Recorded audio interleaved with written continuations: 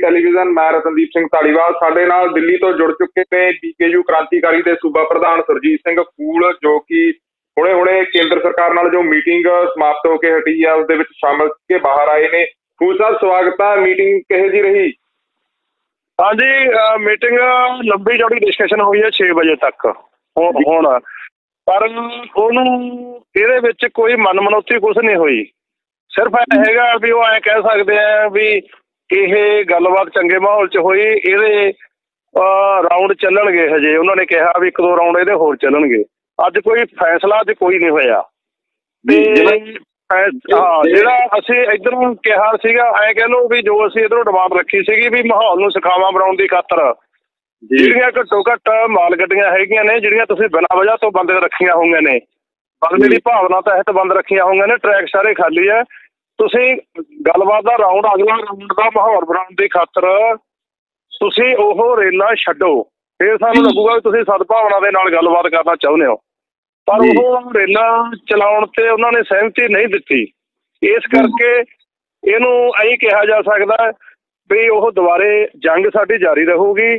Toll ਪਲਾਜ਼ੇ ਬੰਦ ਰਹਿਣਗੀਆਂ ਰੇਲਾਂ ਦੀ ਜਿਹੜੀ ਮੁਸਾਫਰ ਗੱਡੀਆਂ ਉਹ ਬੰਦ ਰਹਿਣਗੀਆਂ ਮਾਲਜ ਬੰਦ ਰਹਿਣਗੇ। 26 ਤਰੀਕ ਦਾ ਜਿਹੜਾ ਪ੍ਰੋਗਰਾਮ ਹੈ ਉਹਦੀਆਂ ਪੂਰੀ ਜੰਗੇ ਪੱਧਰੀ ਤੇ ਤਿਆਰੀਆਂ ਹੋਣਗੀਆਂ ਦਿੱਲੀ ਨੂੰ ਘੇਰਨ ਵਾਲੀਆਂ ਜੇ ਉਹ ਦਿੱਲੀ ਨੂੰ ਨਹੀਂ ਜਾਣ ਦਿੰਦੇ ਰਾਮਲੀਲਾ ਗਰਾਊਂਡ ਤੋਂ ਘੇਰੀਆਂ ਜਾਣ ਜਿੱਥੇ ਇਹਨਾਂ ਦੇ ਆਪਣੇ ਹੈਗੇ ਨੇ ਬਾਰਡਰ ਹੈਗੇ ਨੇ ਐਂਟਰੀ ਪੁਆਇੰਟ ਹੈਗਾ ਉੱਥੇ ਪੱਕੇ ਮੋਰਚੇ ਲਾ ਕੇ ਜਿਹੜਾ ਹੈਗਾ ਸਾਰੀ ਜਿਹੜੀ ਇਧਰੋਂ ਪੰਜਾਬ ਨਾਲੋਂ ਬਾਕੀ ਸਾਰੇ ਸੂਬਿਆਂ ਨਾਲੋਂ ਦਿੱਲੀ ਦਾ ਕਨੈਕਸ਼ਨ ਕੱਟਿਆ ਜਾਊਗਾ। ਇਹ ਸਾਰੇ ਦੇ ਸਾਰੇ ਜਿਹੜੇ ਫੈਸਲੇ ਹੈਗੇ ਅਗਲੇ ਘੋਲ ਦੇ ਉਹ ਜਾਰੀ ਰਹਿਣਗੇ। ਤੇ ਜਿਹੜੀ ਹੈਗੀ ਆ ਗੱਲਬਾਤ ਜੇ ਗਾਹਾਂ ਦੂਜੇ ਰਾਉਂਡ 'ਚੋਂ ਸੱਦਾ ਦਿੰਦੇ ਆ ਕਿਹਾ ਉਹਨਾਂ ਨੇ ਕਹਿੰਦੇ ਵੀ ਅਸੀਂ ਜੋ ਤੁਸੀਂ ਗੱਲਬਾਤ ਸਾਨੂੰ ਰੱਖੀ ਹੈ, ਸਾਨੂੰ ਸਵਾਲ ਰੱਖੇ ਆ ਇਹ ਬਾਕੀ ਗੰਭੀਰ ਹੈ। ਸਾਡੇ ਲਈ ਵੀ ਵਿਚਾਰਨ ਵਾਲੇ ਹੈਗੇ ਆ। ਅਸੀਂ ਮੁੜ ਵਿਚਾਰ ਕੇ ਛੇਤੀ ਸਾਨੂੰ ਅਗਲੀ ਵਾਰ ਦਾ ਗੱਲਬਾਤ ਦਾ ਜਿਹੜਾ ਸੱਦਾ ਦੇਵਾਂਗੇ। ਠੀਕ ਆ, ਤੁਸੀਂ ਸੰਘਰਸ਼ ਕਰੋ। ਤੁਹਾਡਾ ਹੱਕ ਹੈ। ਅਸੀਂ ਜਿਹੜਾ ਹੈਗਾ ਵੀ ਇਹਨੂੰ ਐ ਨਹੀਂ ਕਹਿੰਦੇ ਵੀ ਅਸੀਂ ਗੱਲਬਾਤ ਟੁੱਟ ਗਈ। ਅਸੀਂ ਕਿਹਾ ਸੀਗਾ ਉਹਨਾਂ ਨੂੰ ਵੀ ਫਿਰ ਅਸੀਂ ਐ ਕਹਿ ਦੇਗੇ ਵੀ ਗੱਲਬਾਤ ਟੁੱਟ ਗਈ। ਉਹ ਕਹਿੰਦੇ ਵੀ ਟੁੱਟੀ ਨਾ ਕਹੋ।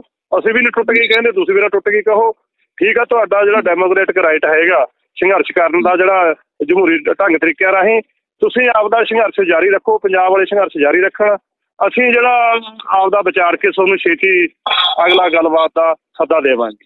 ਜੇ ਉਹ ਟ੍ਰੇਨਾਂ ਦਾ ਛੱਡ ਦਿੰਦੇ ਆਪਣੀਆਂ ਚਾਲੂ ਕਰ ਦਿੰਦੇ ਆਪਣੀਆਂ ਜਿਹੜੀਆਂ ਮਾਲ ਗੱਡੀਆਂ ਹੈਗੀਆਂ ਤਾਂ ਕਿ ਖਾਦ ਵਗੈਰਾ ਯੂਰੀਆ ਵਗੈਰਾ ਜਾਂ ਦੂਜੀਆਂ ਜ਼ਰੂਰੀ ਵਸਤਾਂ ਆ ਸਕਦੀਆਂ। ਫਿਰ ਥੋੜਾ ਜਿਹਾ ਸੀਗਾ ਵੀ ਮਾਹੌਲ ਸਖਾਮਾ ਹੋ ਕੇ ਸ਼ਾਇਦ ਮਾੜੀ ਮੋਟੀ ਸਰਕਾਰ ਨੂੰ ਕੋਈ ਰਾਇਤ ਵੀ ਦਿੱਤੀ ਜਾ ਸਕਦੀ। ਪਰ ਹੁਣ ਜਦੋਂ ਉਹਨਾਂ ਨੇ ਕੋਈ ਛੱਡੀ ਨਹੀਂ ਤਾਂ ਉਹ ਕੋਈ ਰਾਇਤ ਵਾਲੀ ਗੱਲ ਨਹੀਂ ਉਵੇਂ ਜਿਹੜੀ ਹੈਗੀਆਂ ਉਹਦੀਆਂ ਘੋਲਦੀਆਂ ਜੰਗ ਐ ਕਹਿੰਦੇ ਵੀ ਪੰਜਾਬੀ 'ਚ ਕਹਿਣਾ ਹੋਵੇ ਜਿੱਤਾਂਗੇ ਜ਼ਰੂਰ ਜੰਗ ਜਾਰੀ ਰਹੂਗੀ ਸਾਡੀ ਜੀ ਇਹ ਆਪਣੇ ਸੁਰਜੀਤ ਜੀ ਜਦੋਂ ਲੰਚ ਦੀ ਗੱਲ ਹੋਈ ਸੀ ਤੁਸੀਂ ਇਹ ਕਹਿ ਰਹੇ ਸੀ ਵੀ ਕਿਸਾਨ ਯੂਨੀਅਨ ਦੇ ਨੁਮਾਇੰਦਿਆਂ ਨੇ ਉਹਨਾਂ ਦੇ ਸਾਹਮਣੇ ਸਾਰੀ ਤਸਵੀਰ ਸਾਫ਼ ਕਰ ਦਿੱਤੀ ਹੈ ਉਧਰੋਂ ਜਿਹੜੀ ਤੁਸੀਂ ਤਸਵੀਰ ਸਾਫ਼ ਕੀਤੀ ਸੀ ਉਹਨਾਂ ਨੇ ਕੁਝ ਵੀ ਉਹਦਾ ਆਦਾ ਨਾਰਾ ਨਹੀਂ ਮਾਰਿਆ ਉਹਨਾਂ ਨੇ ਇਹ ਸਹਿਮਤੀ ਨਹੀਂ ਪ੍ਰਗਟਾਈ ਵੀ ਵਾਕਿਆ ਦੇ ਵਿੱਚ ਕਿਸਾਨ ਮਾਰੂ ਬਿੱਲ ਨੇ ਇਹ ਚੀਜ਼ ਆਈ ਹੈ ਸਾਹਮਣੇ ਕਿ ਨਹੀਂ? ਹਾਂ ਹਾਂ। ਦੇਖੋ ਜੀ, ਅਸੀਂ ਜਿਹੜੀ ਤੁਹਾਨੂੰ ਮੈਂ ਪਹਿਲਾਂ ਦੱਸੀ ਸੀਗੀ ਵੀ ਫਸਟ ਜਿਹੜੀ ਹੈਗੀ ਆ ਲੰਚ ਤੋਂ ਪਹਿਲਾਂ ਇਧਰੋਂ ਜਥੇਬੰਦੀਆਂ ਨੇ ਜੋ ਆਪਣਾ ਸਾਰਾ ਕੇਸ ਪੁੱਟ ਕਰਨਾ ਸੀਗਾ, ਤਿੰਨੇ ਕਾਨੂੰਨਾਂ ਬਾਰੇ ਆਰਡੀਨੈਂਸ ਆਪਣਾ ਬਾਰੇ, ਬਾਕੀ ਅੱਠ ਮੰਗਾਂ ਬਾਰੇ, ਉਹ ਪੂਰੀ ਵੱਜਵੇਂ ਰੂਪ ਦੇ ਵਿੱਚ, ਗੁੰਦਵੇਂ ਰੂਪ 'ਚ ਰੱਖਤਾ ਸੀਗਾ। ਸੈਕੰਡ ਲੰਚ ਤੋਂ ਬਾਅਦ ਉਹਨਾਂ ਨੇ ਜਵਾਬ ਦੇਣੇ ਸੀਗੇ। ਉਹਨਾਂ ਕੋਲੇ ਕਾਨੂੰਨਾਂ ਦੇ ਸਬੰਧ ਦੇ ਵਿੱਚ ਵੀ ਕਾਨੂੰਨ ਕਿਵੇਂ ਕਿਸਾਨ ਪੱਖੀ ਹੈ? ਇਹਦੇ ਲਈ ਉਹ ਇੰਨਾ ਲੌਕ ਹੋਏ ਵੀ ਇੱਕ ਵੀ ਦਲੀਲ ਨਹੀਂ ਸੀ ਜੋ ਉਧਰੋਂ ਦਿੱਲੀੋਂ ਦਿੱਤੀਆਂ ਉਹ ਸਿਰਫ ਗਰਾਊਂਡ ਲੱਗ ਕੇ ਵੀ ਸਾਡੀਆਂ ਪੰਜਾਬ 'ਚ ਪ੍ਰਾਪਤੀਆਂ ਕੀ ਆ ਸਾਡੀਆਂ। ਦੇਖੋ ਵੀ ਅਸੀਂ ਝੋਨਾ ਸਾਰੇ ਦਾ ਸਾਰਾ ਰੁਕਿਆ ਨਹੀਂ ਅਸੀਂ ਪੇਮੈਂਟ ਹੈ ਜਿਹੜੀ ਝੋਨਾ ਖਰੀਦਣ ਦੀ ਖਾਤਰ ਉਹ ਵੱਧ ਕਰਤੀ। ਪ੍ਰੋਕਿਉਰਮੈਂਟ ਪਿਛਲੇ ਸਾਲ ਨਾਲੋਂ ਵੱਧ ਹੋਈ ਹੈ ਚਕਾਈ ਝੋਨੇ ਦੀ ਵੱਧ ਹੋਈ ਹੈ ਕਿਸਾਨ ਨੂੰ ਰੋਲਣਾ ਨਹੀਂ ਪਿਆ। ਮਤਲਬ ਇਹੋ ਜਿਹੀਆਂ ਉਹ ਆਪਣੀਆਂ ਉਪਲਬਧੀਆਂ ਕਹਿ ਲੋ ਪ੍ਰਾਪਤੀਆਂ ਦੱਸਣ ਲੱਗੇ ਅਸੀਂ ਉਹਨਾਂ ਨੂੰ ਬੰਦ ਕਰਤਾ। ਅਸੀਂ ਆਖਿਆ ਵੀ ਇਹ ਉਪਲਬਧੀਆਂ ਦਾ ਪੁਰਾਣਾ ਜਿਹੜਾ ਸਿਸਟਮ ਸੀਗਾ ਮੰਡੀ ਸਿਸਟਮ ਉਹਦੀਆਂ ਹੀ ਹੈ। ਉਹ ਮੰਡੀ ਸਿਸਟਮ ਤੁਸੀਂ ਖਤਮ ਕਰਨਾ ਚਾਹੁੰਦੇ ਹੋ। ਇਹ ਉਪਲਬਧੀਆਂ ਉਪਲਬਧੀਆਂ ਤਾਂ ਖਤਮ ਹੋ ਜਾਣਗੀਆਂ ਜਦੋਂ ਆਹ ਨਵਾਂ ਕਾਨੂੰਨ ਤੁਹਾਡਾ ਲਾਗੂ ਹੋ ਗਿਆ। ਇਹ ਤਾਂ ਹਜੇ ਪੁਰਾਣੇ ਕਾਨੂੰਨ ਤਹਿਤ ਹੀ ਜਿਹੜੀ ਉਹ ਖਰੀਦ ਹੋਈ ਹੈ। ਸੋ ਇਸ ਕਰਕੇ ਸਾਨੂੰ ਦੱਸੋ ਵੀ ਜਿਹੜੇ ਆਹ ਨਵੇਂ ਕਾਨੂੰਨ ਦੇ ਨਾਲ ਇਹਦੇ ਅਸਰ ਪੈਣੇ ਆ 2 ਸਾਲਾਂ ਇਹਦੇ ਅਸਰ ਆਉਣੇ ਆ ਸਾਰੀਆਂ ਸਰਕਾਰੀ ਮੰਡੀਆਂ ਖਤਮ ਹੋ ਕੇ ਕਾਰਪੋਰੇਟਾਂ ਦੇ ਨਿਰਭਰ ਹੋਣਾ ਕਿਸਾਨਾਂ ਨੇ ਉੱਜੜਨਾ ਜ਼ਮੀਨਾਂ ਜਾਣੀਆਂ ਫਸਲਾਂ ਰੋਲਣੀਆਂ ਨੇ। ਇਹ ਕਾਨੂੰਨਾਂ ਦੇ ਇਹਦੇ ਬਾਰੇ ਦੱਸੋ। ਇਹਦੇ ਬਾਰੇ ਉਹ ਨਾ ਰੇਲ ਮੰਤਰੀ ਕੋਲੇ ਨਾ ਖੇਤੀਬਾੜੀ ਮੰਤਰੀ ਕੋਲੇ ਕੁਝ ਵੀ ਨਹੀਂ ਸੀਗਾ ਕਹਿਣ ਨੂੰ। ਸੋ ਇਸ ਕਰਕੇ ਉਹਨਾਂ ਨੂੰ ਐਂ ਹੋਇਆ ਕਿਹਾ ਵੀ ਆ ਮੰਨਿਆ ਵੀ ਹੈ ਵੀ ਅਸੀਂ ਜਿੰਨਾ ਤੁਸੀਂ ਕੇਸ ਪੁੱਟ ਕੀਤਾ ਸਾਨੂੰ ਵੀ ਕਈ ਗੱਲਾਂ ਦਾ ਮਤਲਬ ਸਮਝਣ ਨੂੰ ਹੋਰ ਸਮਝਣ ਦੇ ਵਿੱਚ ਸਾਨੂੰ ਸਹਾਇਤਾ ਮਿਲੂਗੀ।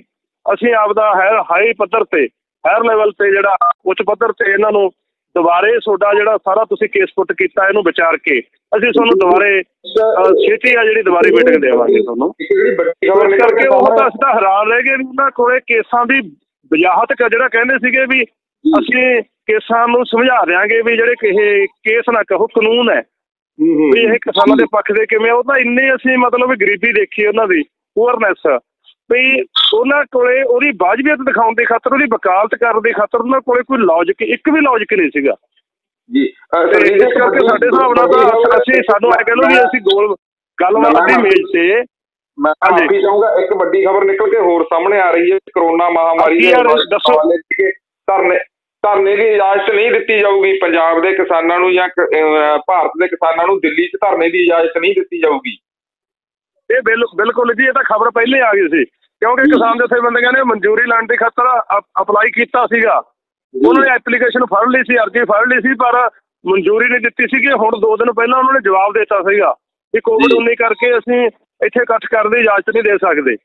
ਜੀ। ਤੇ ਉਹ ਵੀ ਅਸੀਂ ਅੱਜ ਕਿਹਾ ਵੀ ਜਦੋਂ ਰੈਲੀ ਕਰਨੀਆਂ ਹੁੰਦੀਆਂ ਇੱਧਰ ਬਿਹਾਰ ਦੇ ਵਿੱਚ ਪ੍ਰਧਾਨ ਮੰਤਰੀ ਖੁਦ ਰੈਲੀਆਂ ਕਰਨ ਗਿਆ ਹਜ਼ਾਰਾਂ ਦਾ ਉੱਥੇ ਰੈਲੀਆਂ ਦਾ ਇਕੱਠ ਕੀਤਾ ਉਹਨਾਂ ਨੇ ਭੀੜ ਇਕੱਠੀ ਕੀਤੀ ਹੈ ਕੋਈ ਡਿਸਟੈਂਸ ਵੀ ਨਹੀਂ ਸੀ ਕੋਈ ਮਾਸਕ ਵੀ ਨਹੀਂ ਸੀ ਉੱਥੇ ਕੋਵਿਡ ਨਹੀਂ ਜਾਂਦਾ ਪਰ ਜਦੋਂ। ਕਿਸਾਨਾਂ ਨੇ ਆਪਣਾ ਦੁੱਖ ਦੱਸਣ ਦੀ ਖਾਤਰ ਰਾਮਲੀਲਾ ਗਰਾਊਂਡ ਦੇ ਵਿੱਚ ਆਪਣਾ ਧਰਨਾ ਪ੍ਰਦਰਸ਼ਨ ਕਰਨਾ ਸ਼ਾਂਤਮਈ ਜਾਂ ਉੱਥੇ ਉਹਨਾਂ ਦਾ ਦੁੱਖ ਸੁਣਨ ਦੀ ਬਜਾਏ ਉੱਥੇ ਕੋਵਿਡ ਦਾ ਇਜਾਜ਼ਤ ਲੱਗ ਜਾ ਰੋਕ ਲੱਗ ਜਾਂਦੀ। ਇਸ ਕਰਕੇ ਅਸੀਂ ਉਹਨਾਂ ਨੂੰ ਵੀ ਕਿਹਾ ਵੀ ਇਹਦਾ ਜਵਾਬ ਫਿਰ ਅਸੀਂ ਐ ਨਹੀਂ ਵੀ ਅਸੀਂ ਇਕੱਠ ਨਹੀਂ ਕਰਾਂਗੇ ਅਸੀਂ ਆਵਾਂਗੇ ਆਪਦੇ ਵਹੀਕਲਾਂ ਤੇ ਹਜ਼ਾਰਾਂ ਦੀ ਗਿਣਤੀ 'ਚ ਲੱਖਾਂ ਦੀ ਗਿਣਤੀ 'ਚ ਕਿਸਾਨ ਤੁਸੀਂ ਸਾਨੂੰ ਰੋਕਿਓ। ਫਿਰ ਜੀ। ਦੇਖਾਂਗੇ ਵੀ ਉੱਥੇ ਕੀ ਭਾਅ ਵਿਕਦੀ ਹੈ ਵੀ ਫਿਰ ਤੁਹਾਡੀ ਟ੍ਰੈਫਿਕ ਚੱਲਦੀ ਹੈ। ਸਾਰਾ ਇਹ ਜਿਹੜਾ ਦਿੱਲੀ ਹੈਗੀ ਆ ਦੂਜੇ ਸੂਬਿਆਂ ਦੇ ਉੱਥੋਂ ਦਿੱਲੀ ਤੋਂ ਬਾਹਰ ਟ੍ਰੈਫਿਕ ਨਿਕਲਦੀ ਹੈ ਕਿ ਨਹੀਂ ਨਿਕਲਦੀ ਫਿਰ ਅਸੀਂ ਦੱਸਾਂਗੇ। ਇਹ ਸਮਾਂ ਦੱਸੂਗਾ। ਕਹਿਣ ਦਾ ਭਾਵ ਆ ਟਾਈ ਪੈਗੀ ਵੀ 26 ਨੂੰ ਜਿਵੇਂ ਕਹਿੰਦੇ ਹੁੰਦੇ ਆ ਕੱਦੂ ਖੇੜਾ ਕਰੂ ਨਵੇੜਾ। 26 26 ਵਾਲਾ ਦਿਨ ਜਿਹੜਾ ਉਹ ਨਵੇੜਾ ਕਰਨ ਵਾਲਾ ਬਣ ਗਿਆ। ਵੀ ਕਿਸਾਨਾਂ ਨੇ ਜੇ ਨਹੀਂ ਜਾਣ ਦਿੰਦੇ ਬਲੌਕ ਕਰਨੀਆਂ ਨੇ ਸਾਰੀਆਂ ਸੜਕਾਂ ਸਾਰੇ ਸੂਬਿਆਂ ਦੇ ਨੇ ਦਿੱਲੀ ਨਾਲੋਂ ਸਾਰੇ ਸੂਬੇ ਨੂੰ ਕੱਟਣਾ ਉਹਨਾਂ ਨੇ ਰੋਕਣਾ। ਸੋ ਉੱਥੇ ਕੀ ਭਾਅ ਵਿਕਦੀ ਹੈ ਕੀ ਬੈਂਗਣੀ ਉਗੜਦੀ ਆ ਉਹ ਹੁਣ 26 ਨਵੰਬਰ ਦਾ ਜਿਹੜਾ ਦਿਨ ਆ ਇਤਿਹਾਸਕ ਦਿਨ ਬਣ ਗਿਆ ਉਹ ਦੱਸੂਗਾ। ਇੱਕ ਜਿਹੜੇ ਕੁਝ ਮੀਡੀਆ ਦੇ ਅਦਾਰੇ ਨੇ ਉਹ ਇਹ ਖਬਰ ਦੇ ਰਹੇ ਨੇ ਵੀ ਮੰਤਰੀਆਂ ਨੇ ਜਿਹੜੇ ਕੇਂਦਰੀ ਮੰਤਰੀ ਆ ਉਹ ਕਿਸਾਨਾਂ ਦੀ ਕਲਾਸ ਲਾ ਰਹੇ ਨੇ। ਇਹਦੇ ਤੇ ਤੁਹਾਡੀ ਜਾਂਦੇ ਜਾਂਦੇ ਕੀ ਟਿੱਪਣੀ ਹੋਊਗੀ? ਦੇਖੋ ਜੀ ਐ ਤਾਂ ਮੀਡੀਆ ਕਿ ਏਬੀਪੀ ਸਾਂਝੇ ਵਾਲਾ ਹੈਗਾ ਉਹਨੂੰ ਸਹੁਰੇ ਨੂੰ ਅਕਲ ਨਹੀਂ ਵੀ ਲਾਜਵਾਬ ਤਾਂ ਉਹ ਹੋ ਗਏ। ਲੋਕ ਤਾਂ ਉਹ ਹੋ ਗਏ ਗੱਲਬਾਤ ਦੇ ਵਿੱਚ। ਹੁਣ। ਅਸੀਂ ਜੇ ਉਹ ਕਿਹੜਾ ਵਿੱਚ ਬੈਠਾ ਸੀਗਾ ਜਿਹੜਾ ਏਬੀਪੀ ਸਾਂਝੇ ਵਾਲਾ ਜਿਹੜਾ ਮੀਡੀਆ ਦੇ ਰਿਹਾ ਜਿਹੜਾ ਮੋਦੀ ਗੋਦੀ ਮੀਡੀਆ ਹੈਗਾ ਜਿਹਨੇ ਸਰਕਾਰ ਦੀਆਂ ਆਹ ਹੀ ਹਮੇਸ਼ਾ ਜਿਹੜਾ ਵਰਸ਼ਨ ਪੱਖ ਰੱਖਣਾ ਹੁੰਦਾ ਜਿਨ੍ਹਾਂ ਨੇ ਗੋਦੀ ਚੜਿਆ ਹੋਇਆ ਸਰਕਾਰ ਦੇ ਮੰਤਰੀਆਂ ਦੇ ਅਧਿਕਾਰੀਆਂ ਦੇ। ਉਹ ਗੋਦੀ ਮੀਡੀਆ ਨੇ ਤਾਂ ਫਿਰ ਉਹੀ ਗੱਲ ਕਰਨੀ ਆ, ਉਹਨੂੰ ਪੁੱਛਣ ਵਾਲਾ ਹੋਵੇ ਜਿਹੜਾ ਮੀਡੀਆ ਦੇ ਵਿੱਚ ਤੁਸੀਂ ਵਿੱਚ ਬੈਠੇ ਸੀਗੇ ਤੁਹਾਡੇ ਕੋਲ ਕੋਈ ਰਿਕਾਰਡਿੰਗ ਹੈ ਕੋਈ? ਵੀ ਕੀ ਇਧਰੋਂ ਕਿਸਾਨਾਂ ਨੇ ਰੱਖਿਆ ਤੇ ਕਿਵੇਂ ਉਹ ਲਾਜਵਾਬ ਹੋਏ ਉਹ? ਹਾਂ ਹਾਂ ਕਲਾਸ ਤਾਂ ਫੇਰ ਹੁੰਦੀ ਵੀ ਅਸੀਂ ਕਨਵਿੰਸ ਹੋ ਗਏ ਹੁੰਦੇ ਉਹਦੀਆਂ ਗੱਲਾਂ ਤੇ। ਜੀ। ਫੇਰ ਕਲਾਸ ਬਣਦੇ ਮੇਰੇ ਹਿਸਾਬ ਨਾਲ ਇਹ ਗੋਦੀ ਮੀਡੀਆ ਦਾ ਕੰਮ ਹੈਗਾ। ਅਸੀਂ ਇਹਦੀ ਨਿੰਦਿਆ ਕਰਦੇ ਆ ਜਿਹੜੇ ਏਬੀਪੀ ਸਾਂਝੇ ਵਾਲੇ ਨੇ ਵੀ ਜਿਹੜਾ ਉਹਨਾਂ ਨੇ ਬਕਵਾਸ ਮਾਰਿਆ ਵੀ ਕਲਾਸ ਲਾ ਕੇ ਲਾਤੀ। ਜੇ ਕਲਾਸ ਲੱਗੀ ਹੁੰਦੀ ਫਿਰ ਅਸੀਂ ਕਨਵਿੰਸ ਹੋਏ ਹੁੰਦੇ ਫਿਰ ਅਸੀਂ ਇਧਰੋਂ ਕੋਈ ਰੇਲਾਂ ਛੱਡ ਗਿਆ ਹੁੰਦੀਆਂ ਜਾਂ ਅਸੀਂ ਆਪਦਾ 26 ਤਰੀਕ ਵਾਲਾ ਜਿਹੜਾ ਨਿਰਣਾਇਕ ਹੈ ਜਿਹੜਾ ਫੈਸਲਾ ਕਰੂ ਜਿਹੜਾ ਮੋਰਚਾ ਹੈਗਾ ਫਿਰ ਅਸੀਂ ਉਹਨੂੰ ਜਿਹੜਾ ਐਕਸ਼ਨ ਪ੍ਰੋਗਰਾਮ ਨੂੰ ਉਹਦੇ 'ਚ ਢਿੱਲ ਦਿੱਤੀ ਹੁੰਦੀ ਕੋਈ। ਜੇ ਢਿੱਲ ਨਹੀਂ ਦਿੱਤੀ ਤੇ ਅਸੀਂ ਕਿਵੇਂ ਕਹਿ ਦਿੰਦੇ ਵੀ ਸਾਡੀ ਕਲਾਸ ਲਾਤੀ ਇਹਦਾ ਮਤਲਬ ਕਲਾਸ ਲਾਉਣ ਦਾ ਤਾਂ ਮਤਲਬ ਹੈ ਵੀ ਅਸੀਂ ਸਹਿਮਤ ਹੋ ਗਏ ਉਹਦੇ ਤੇ। ਇਹ ਸਾਰਾ ਬੇਬੁਨਿਆਦ ਗੱਲਾਂ ਨੇ ਇਹ ਗੋਦੀ ਮੀਡੀਆ ਦਾ ਕੰਮ ਹੈ ਇਹਦੀ ਨਿੰਦਿਆ ਕਰਦੇ ਹਾਂ ਜੀ। ਸਰਜੀਤ ਜੀ ਜਾਂਦੇ ਜਾਂਦੇ ਮੈਂ ਇਹ ਚਾਹੂੰਗਾ ਵੀ ਤੁਸੀਂ ਹੁਣ ਇਸ ਟਾਈਮ ਦਿੱਲੀ ਦੇ ਵਿੱਚੋਂ ਹਾਲਾਂਕਿ ਵੱਡੇ ਚੈਨਲਾਂ ਦੇ ਉੱਤੇ ਸਾਰੀ ਬਾਈਟਸ ਵੀ ਆ ਰਹੀਆਂ ਕਿਸਾਨਾਂ ਦੀਆਂ ਹੋਰ ਜਥੇਬੰਦੀ ਵਾਲੇ। ਨੁਮਾਇੰਦਿਆਂ ਦੀਆਂ ਆ ਰਹੀਆਂ। ਤੁਸੀਂ ਪੰਜਾਬ ਦੇ ਜਿਹੜੇ ਇਸ ਟਾਈਮ ਤੁਹਾਨੂੰ ਸੁਣ ਰਹੇ ਨੇ ਦਰਸ਼ਕ ਨੇ ਜਾਂ ਕਿਸਾਨ ਨੇ ਉਹਨਾਂ ਨੂੰ ਕੀ ਕਹਿਣਾ ਚਾਹੋਗੇ? ਦੇਖੋ ਜੀ, ਅਸੀਂ ਕਿਸਾਨਾਂ ਨੂੰ ਇਹ ਕਿਹਾ ਵੀ ਅਸੀਂ ਤੁਹਾਡੀਆਂ ਭਾਵਨਾਵਾਂ ਦੀ ਮੰਗਾਂ ਦੀ, ਕਿਉਂਕਿ ਕਿਸਾਨਾਂ ਨੇ ਸਾਨੂੰ ਇਹ ਕਿਹਾ ਸੀਗਾ ਵੀ ਵੇਖੋ ਲੀਡਰੋ, ਪਹਿਲਾਂ ਜਿੰਨੇ ਲੀਡਰਸ਼ਿਪਾਂ ਨੇ ਸਮਝੌਤੇ ਕੀਤੇ ਆ, ਕਹਿੰਦੇ ਆ ਵੀ ਉਹ ਲੰਗੋਵਾਲ ਨੂੰ ਕਿਤੇ ਰਸਗੁੱਲੇ ਖਾ ਕੇ ਨਾ ਕਿਤੇ ਸਮਝੌਤਾ ਵੇਚ ਆਇਓ ਤੁਸੀਂ ਸੋਨੂੰ, ਜੇ ਕੋਈ ਇਹਦੇ ਵਿੱਚੋਂ ਭੱਜੂਗਾ, ਬਿਨਾਂ ਮੋਰਚੇ ਦੀਆਂ ਮੰਗਾਂ ਮਨਾਏ ਤੋਂ ਪਿੱਛੇ ਹਟੂਗਾ, ਅਸੀਂ ਉਹਨਾਂ ਨੂੰ ਬਖਸ਼ਾਂਗੇ ਨਹੀਂ, ਅਸੀਂ ਉਹਨਾਂ ਨੂੰ ਕਹਿਣ ਦਾ ਭਾਵ ਭਾਵੇਂ ਸਰੀਰਕ ਤੌਰ ਤੇ ਨਾ ਮਾਰ ਕੇ ਅਸੀਂ ਉਹਨਾਂ ਨੂੰ ਸਿਆਸੀ ਤੌਰ ਤੇ ਮਾਰ ਕੇ ਹਟਾਂਗੇ। ਇੰਨ- ਇੰਨਾ ਮਤਲਬ ਜਿਹੜਾ ਸਾਡੇ ਤੇ ਕਿਸਾਨ ਕਹਿ ਰਹੇ ਆ ਅਸੀਂ ਉਹਨਾਂ ਦੀਆਂ ਮੰਗਾਂ ਤੇ ਪੂਰੇ ਉਤਰੇ ਆ। ਅਸੀਂ ਕੋਈ ਮੋਰਚੇ ਦੇ ਪਿੱਛੇ ਨਹੀਂ ਹਟਿਆ। ਅਸੀਂ ਘੋਲ ਦਾ ਮਤਲਬ ਜਿਹੜਾ ਹੈਗਾ 26 ਤਰੀਕ ਦਾ ਪ੍ਰੋਗਰਾਮ ਆ, ਉਹਨੂੰ ਅਸੀਂ ਬਰਕਰਾਰ ਰੱਖਿਆ। ਕਿਹਾ ਵੀ ਪਹਿਲਾਂ ਅਸੀਂ ਉੱਥੇ ਜਾਵਾਂਗੇ ਮੂਰੇ ਜੋ ਵੀ ਸਖਤੀ ਹੋਈ ਕਾਨੂੰਨ ਹੋਇਆ ਜੇਲਾਂ ਹੁੰਦੀਆਂ ਨੇ ਲਾਠੀ ਚਾਰਜ ਹੁੰਦਾ ਅਸੀਂ ਚੱਲਾਂਗੇ। ਤੇ ਐਵੇਂ ਹੀ ਕਿਸਾਨ ਵੀ ਫਿਰ ਹੁਣ ਅਸੀਂ ਤਾਂ ਉਹਨਾਂ ਦੀ ਗੱਲ ਕਿਸਾਨਾਂ ਦੀ ਜਿਹੜੀ ਅਮਾਨ ਹੈ ਉਹਨਾਂ ਦੀ ਇੱਛਾ ਸੀ ਮਨ ਦੀ ਇੱਛਾ ਪੂਰੀ ਕਰਤੀ। ਹੁਣ ਉਹ ਵੀ ਫਿਰ ਜਿਹੜਾ ਸੱਦਾ ਹੈਗਾ 26 ਤਰੀਕ ਦਾ ਉਹਨੂੰ ਵੀ ਆਪਦੇ ਸਭ ਤਰ੍ਹਾਂ ਦੇ ਜਿਹੜੀਆਂ ਹੋਰ ਕੰਮ ਧੰਦੇ ਛੱਡ ਕੇ ਭੁਲਾ ਕੇ ਕਬੀਲਦਾਰੀਆਂ ਦੇ। ਇੱਕ ਵਾਰੀ ਸਾਰੇ ਦਾ ਸਾਰਾ ਧਿਆਨ ਉਹ ਮੋਰਚੇ ਤੇ ਲਾਉਣ ਮੋਰਚੇ ਨੂੰ ਸਫਲ ਕਰਨ ਜੀ। ਸਾਡੀ ਇਹੀ ਕਿਸਾਨਾਂ ਤੋਂ ਮੰਗ ਹੈ ਜੀ। ਜੀ ਸਰਜੀਤ ਜੀ ਤੁਸੀਂ ਟਾਈਮ ਦਿੱਤਾ ਤੁਹਾਡਾ ਧੰਨਵਾਦ। ਅੱਗੇ ਵੀ ਤੁਹਾਡੇ ਨਾਲ ਇਸ ਮੁੱਦੇ ਦੇ ਉੱਤੇ ਗੱਲਬਾਤ ਕਰਦੇ ਰਹਾਂਗੇ। ਧੰਨਵਾਦ ਜੀ। ਤੁਹਾਡਾ ਵੀ ਧੰਨਵਾਦ ਜੀ ਤੁਹਾਡੇ ਚੈਨਲ ਦਾ ਵੀ ਧੰਨਵਾਦ। ਧੰਨ